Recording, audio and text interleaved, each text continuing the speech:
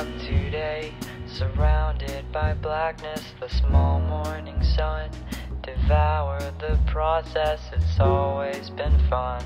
I get a bit nervous and it's hard to say, but I feel a bit weightless the more I admit. I feel a bit anxious the more I go on.